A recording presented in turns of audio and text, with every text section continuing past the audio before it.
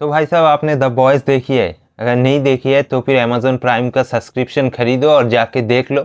अगर पैसा आप लोगों के पास नहीं है तो फिर आप लोग इंटरनेट का यूज़ करो और कहीं से भी डाउनलोड करके देख लो। यही दो चीज़ हो सकती है। तो आज मैं ये वीडियो बना रहा हूँ कि द बॉयज़ आखिर में है क्या, इसकी कॉन्सेप्ट क्या है, उसके बारे में बताने वाला हूँ। साथ ही में मैं ये भी आप लोगों को बताऊँगा कि पार्ट वन पार्ट टू और पार्ट थ्री में क्या दिखाया गया है। और जिन लोगों ने अभी तक पार्ट वन पार्ट टू और पार्ट थ्री नहीं देखा है तो फिर उन लोगों को भी ये पता चलेगा कि द बॉयज़ का कॉन्सेप्ट कैसा है और हम लोगों को ये फ़िल्म क्यों देखनी चाहिए या फिर वेब सीरीज़ क्यों वॉच करना चाहिए। उससे पहले मैं हूँ विवेक और आप सभी का स्वागत है फिल्मी ऑक्सीजन में फिर से एक बार। और चैनल को ज़रूर सब्सक्राइब कर लेना दोस्तों, क्योंकि हमारा सब्सक्राइबर अभी भी बहुत ज़्यादा कम है। आपकी सपोर्ट की मुझे बहुत ज़्यादा ज़रूरत है। तो द बॉयज़ के अंदर सात सुपर हीरोज़ है। और अगर आप द मार्वल्स जैसी मूवीज़ को देख चुके हो तो फिर आप लोगों को इस फ़िल्म के अंदर जो कोई भी सुपर पावर दिखाई जाएगी, वो आप लोगों के लिए नया तो बिल्कुल भी नहीं होगा। साथ में अगर ये सुपर हीरोज़ रियल लाइफ में होती तो फिर उनकी ज़िंदगी कैसी होगी, इस बारे में इसकी पूरी कॉन्सेप्ट है। और इसकी विलेन की अगर बात की जाए दोस्तों तो फिर ये विलेन के पास कोई भी सुपर पावर नहीं है।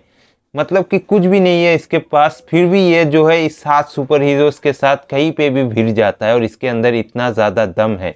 लेकिन ट्विस्ट तब आता है जब इन लोगों को पता चलता है कि इसके पास भी एक सुपर हीरो जैसा लड़का है और इसके पास दो तीन लोग और भी है जो कि इन सुपर हीरोज़ के द्वारा सताया गया है। क्योंकि ये जो सुपर हीरोज़ है ना, ये लोग सुपर हीरो कम और सुपरस्टार ज़्यादा लगते हैं। क्योंकि इन लोगों को फ़ोटो खिंचाना अच्छा लगता है, लाइमलाइट में रहना अच्छा लगता है और इन लोगों के पास जो भी सुपर पावर है वो कृत्रिम तरीके से मतलब कि इसको क्या कहते हैं दोस्तों? हाँ जो भी है मतलब इन सबको लैब में बनाया गया है। किसी के पास लेज़र वाला पावर है तो फिर किसी के पास फ्लैश जैसा दौड़ने की पावर है तो फिर किसी का हाथ जो है हथौड़े जैसा है, जैसे कि थौर के पास था। इसकी कहानी कुछ इस तरीके की है।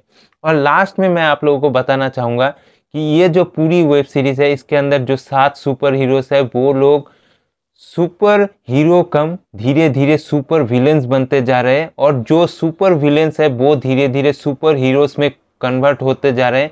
अभी देखने वाली बात इस वेब सीरीज़ के अंदर मतलब कि इस पार्ट फोर के अंदर ये होगी कि कैसे धीरे धीरे ये सुपर विलेन जो है, सुपर हीरो बनते जा रहा है। मतलब इस सुपर विलेन का नाम है बुज्जर और इसके पास एक सुपर हीरो वाली लड़का है। और इसके साथ और इसका और भी दो तीन दोस्त है।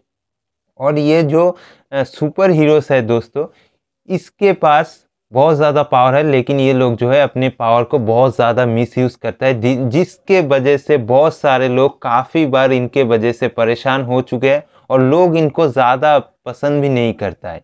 वैसे मेरा ओपिनियन अगर आप लोगों ने यहाँ तक देखा है तो फिर चैनल को ज़रूर सब्सक्राइब कर देना और अगले एपिसोड को देखने के लिए भी चैनल को ज़रूर सब्सक्राइब कर देना। और मेरी बात अगर आप लोगों को यह तक अच्छी लगे तो भी आप सब्सक्राइब कर सकते हैं और अपना कमेंट हमारे कमेंट बॉक्स में ज़रूर डाल सकते हैं। धन्यवाद।